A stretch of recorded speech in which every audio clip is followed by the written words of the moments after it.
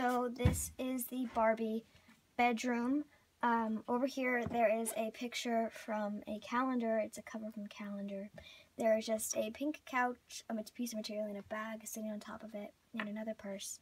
And then over here there's an LED candle with a little McDonald's toy on top of it that just kind of looks like a lantern.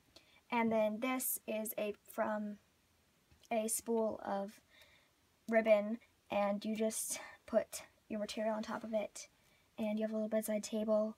And then for the bed the bed is made out of two cardboard bricks a little mattress um, that I got. And then um, for the bedding it's just pillows I made and some blankets and a little teddy bear.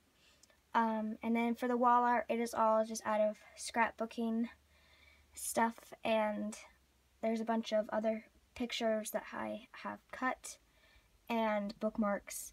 And in this corner there is a red light that lights up and um, it's from Target. And then there is this on it which is just from the Mammoth Caves.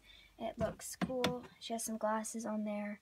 Um, and then this is out of, this is a Barbie TV with a keyboard and it looks like a big Mac. And then just this bead holder which is a nice little desk with a piece of material on top of it and just some other little books and all that and a red carpet and that is the Barbie bedroom. Your headboard. Oh yeah. This headboard is a piece of floor sampling from Home Depot or Lowe's and it just slides back there. And now I think that's it.